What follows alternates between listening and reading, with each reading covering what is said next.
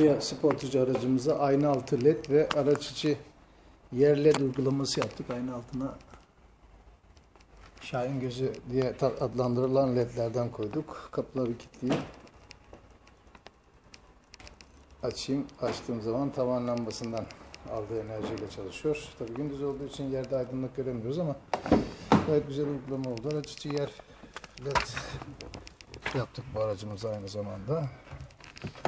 Efendim kontağı açtığımız zaman kendini karartıyor. Karatarak aç, kapatıyor. Açtığımız zaman yavaştan açılıyor.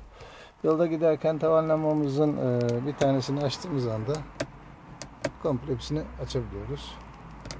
Yine kapıyı açtığımız zaman açılsın. Evet. Arka ayaklar ayaklara göre biraz daha loştur. Çünkü koltuğun ön tarafından doğru arkaya doğru ışık veriyor ve elimi şöyle tuttuğum zaman gayet net ışık alabiliyoruz. Aynı altı ledimiz sağ tarafta göstereyim şöyle. Yine gündüz olduğu için tabii yerde görüntü veremiyorum size. Evet, gayet güzel bir uygulama oldu. Kia Sportage aracımız, aracımıza aynı altı led araç içi yer led ambiyans aydınlatma uygulaması yaptık. Bu tür uygulamaları iş yerimizde yapıyoruz. Video altındaki iletişim bilgilerinden bizimle bağlantı kurabilirsiniz.